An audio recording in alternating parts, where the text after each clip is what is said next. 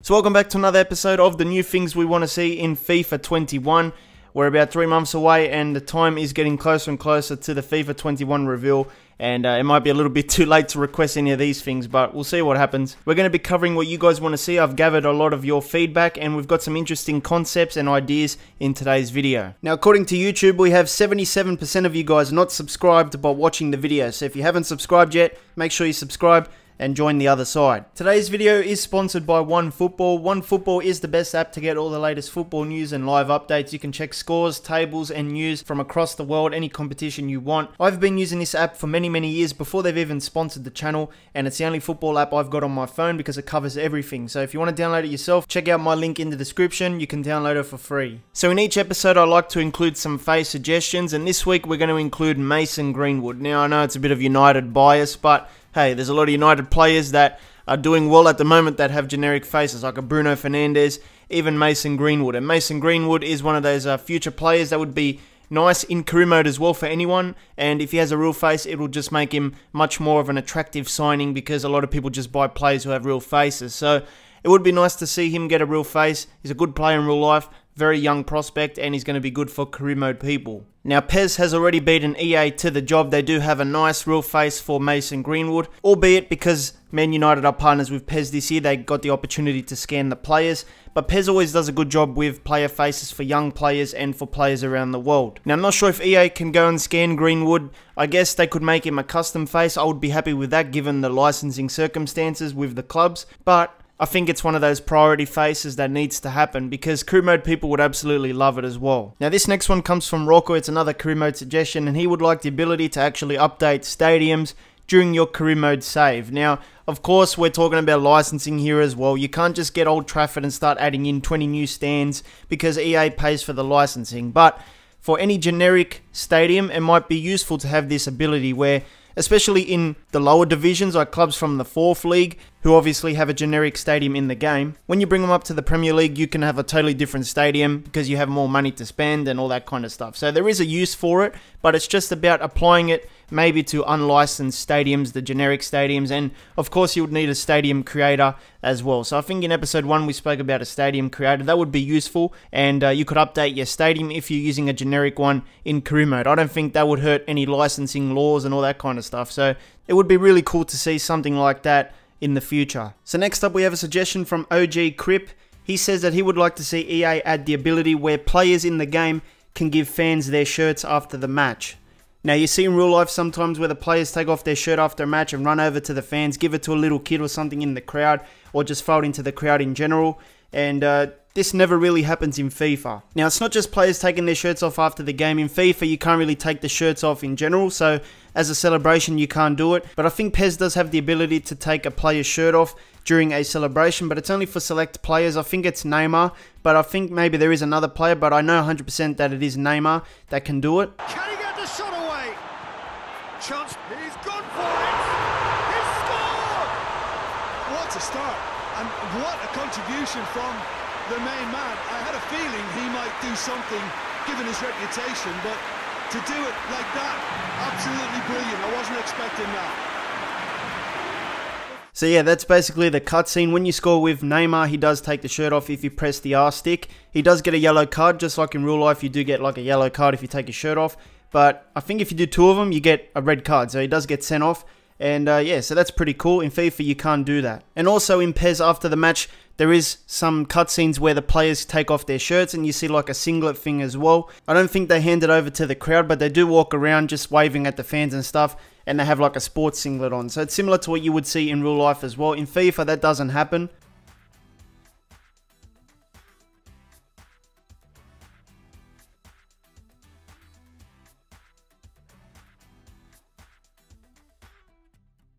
So there was two instances of players taking their shirts off in PES, so why don't we see anything like this in FIFA? Well, there was an interview by the director of FIFA, Matt Prior, and he basically spoke about why they don't have players taking off their shirts. So Matt Prior says to Dream Team Gaming back in like 2018 or something that it's very, very difficult for them to get an in-game player to take their shirt off. He goes, this is because of the morphing of the textures. It's one of those weird things that in real life it seems too easy, but from a gaming standpoint, it's incredibly difficult. So basically, there's something with the textures that prevents them in the game from having a player taking off their shirt. So you might be thinking, since it's so difficult for EA, how come it's not for Konami? Well, Konami does a clever workaround with this thing. So basically, when you score with Neymar, it's actually a cutscene. It's not actually like FIFA where the player is running to the post and then he takes his shirt off in real time. Konami celebrations are just basically cutscenes, so they're allowed to do that and that's what you see when you take the shirt off. It's just a cutscene. Now, after the game as well, that is just another cutscene, so they can do that as well. And FIFA could use cutscenes as well if they decided to copy Konami. Like after the game, you could have a cutscene where the guy takes his shirt off, gives it to the fan, and then walks off. You know, that's not probably too hard. But if they were to have a celebration, the way FIFA does celebrations, where they run to the corner and in real time they're trying to take off their shirt, that's probably not going to be possible or incredibly difficult. So if they were to have a celebration where you take your shirt off, it's probably going to be a cutscene where you don't really see the guy taking the shirt off. It just sort of happens, like Konami's one. So next up, we have a suggestion from MCC, and he would like to see something that I call dynamic crowds in FIFA. So basically he says when you're playing a match and you're winning 3-0 or you're winning by any big margin and it's near the end of the match, you should be able to see in real time as you're playing a match fans from your team or from the opposition team getting up and leaving early with maybe 10 minutes to go, 5 minutes to go, sometimes even 20 minutes to go depending on the score. And you sort of see this in real life as well when there's a big margin and there's no chance this team is coming back from it. And you see the home fans just getting up and leaving early, or even fans from the team that is getting beaten leaving early as well. But in FIFA, you could be winning 25 0 against the team, and their fans are there, still cheering the team on, still chanting. Now, I know some will stay and do that, but a lot of people do leave, but in FIFA, it's still a full crowd until the 90th minute. You don't see anyone get off the seats. Now, I think as we head into the next gen consoles, FIFA 21 will be out on those as well. I think EA should focus on improving the crowds. The only thing I can remember about the crowds is having those security guys walking up and down the stairs and they're doing absolutely nothing else. That's the only improvement I remember in the Frostbite era. Oh yeah, I also remember those seven fans that they added into every cutscene when you start a match and they're supporters for every club. Like every match you go into, you see the same seven guys and they're taking selfies. That's the only two improvements I remember to the crowds over the last few years. So I think dynamic crowds and crowds leaving early could be a cool feature for next gen consoles if they can do it. I don't know if it's hard to code or something. I don't think it would be that hard, but I don't really know these things. But there's also another element to dynamic crowds, and that's also like different competitions and different tiers should have different fan attendances. Like a League 2 game should not have a full sold out stadium like a Premier League one. And there should be some games where, you know, you have empty stadiums or fans that don't show up like empty seats. I know there's a few in certain stadiums. I think I saw a few cutscenes in the pre-match warm-ups and stuff where the stadium looks half empty, but for the most part, most of the stadiums do look pretty full, even if it's like a League 2 game that doesn't really matter. So yeah, I think it would be cool to have dynamic crowds where you see people leaving early during a match, even attendances being different between games, depending on how important the game is and depending on like what league you're in. So I think that's stuff they could work on with the next generation of consoles because this generation's pretty much done. And like I said earlier, I think EA can do a lot more with the presentation and the overall crowds and all that stuff in FIFA. Now, if there's one thing that made FIFA 20 a bit of a disaster was the amount of bugs and glitches in the game. It still has a lot of bugs and glitches, but EA spent most of the year just patching out all the issues, and there's still plenty more to go. But this one apparently was supposed to be patched in one of the title updates from January, I believe, and it was basically the bug where you would edit your goalkeeper in Edit Player, and then the goalkeeper kit would turn into like an outfield kit and EA said they patched in one of the title updates, and apparently it's still plaguing the game. It's not really 100% fixed. So FIFA Career Gems, a fellow YouTuber, put out this tweet that said, you know, isn't it frustrating to have this bug in the game? So yeah, it's definitely something EA needs to fix. They said they fixed it. I'm positive that they don't even realize that it's still sort of in the game still. So next up we have a suggestion about the press conferences. This one comes from BP Mason.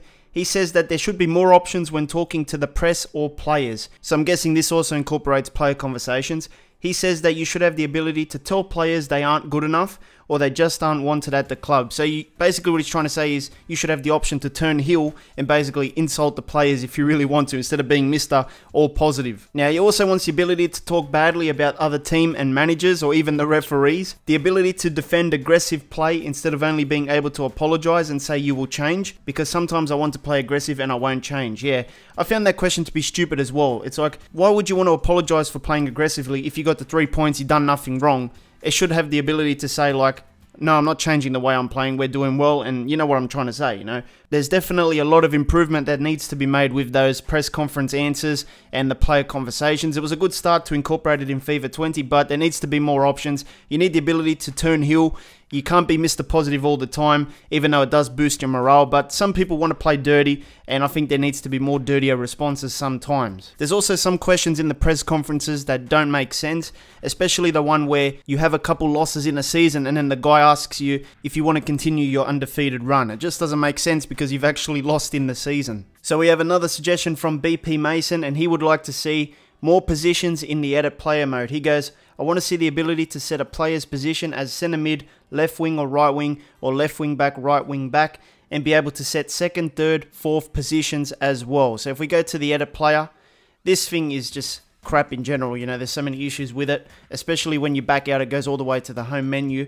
But if we try and edit Xhaka here, who is a centre defensive midfielder. Let's say I wanted to make him a centre midfielder. I can't. So if I go to the midfielder option, there's only attacking, defensive, left and right midfielder. There's no centre midfielder. And to me, it always baffled me as to why they don't have this thing. I don't know if there's any technical reason or just they just decided they don't want it because most formations have a centre midfielder. Some have defensive midfielder, some have attacking, but I think a centre midfielder is a crucial position as well, and you should be able to change a CDM to a centre mid or a cam to a centre mid I don't know why you can't do it in FIFA. And there's also those other positions there as well. Like wingers, you can't really do that. You can only have centre forward, left forward, or right forward. And then you can have left mid or right mid. So there is a few positions missing from this edit player thing. I don't know why, but to me, they should have more. So make sure you check out this FIFA 20 video. Hit the card in the middle. I'll see you next time.